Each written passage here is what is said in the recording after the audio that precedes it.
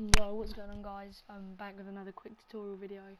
Um, this is for how to put um, armour on, so how I've got it now so it's visible on the outside and to like equip it and stuff so it'll actually work. Sorry I've got a bit of a croaky voice, so yeah. So, um, if you're just doing it for style, then pick the one that you like the most. But if you're doing this for so you, to equip it so you can actually use it in battle, or just PvP or missions, then buy the super heavy armor and then stock it to full. Then go to your interaction menu, which is the big pad in the middle on the PS4 controller.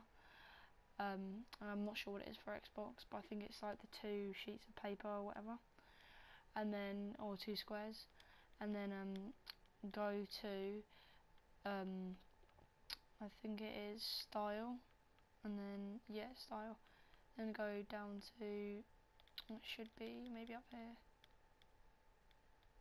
Oh.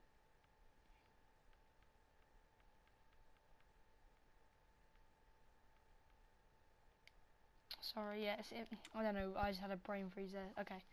So it's inventory and um, it's body armor and then you go to the one that you've bought uh, super heavy armor and then show armor. So this this is if you want it to be seen, like how I have it, which I think is pretty cool for the style. But you don't have to have it like that. You can you can have show armor off, and then yeah. But to equip it, you just click on it and then click on super heavy armor or whichever one you've bought, and then that will equip equip it. So yeah, guys. I uh, hope you found this helpful, and yeah. See you guys in the next one. Peace.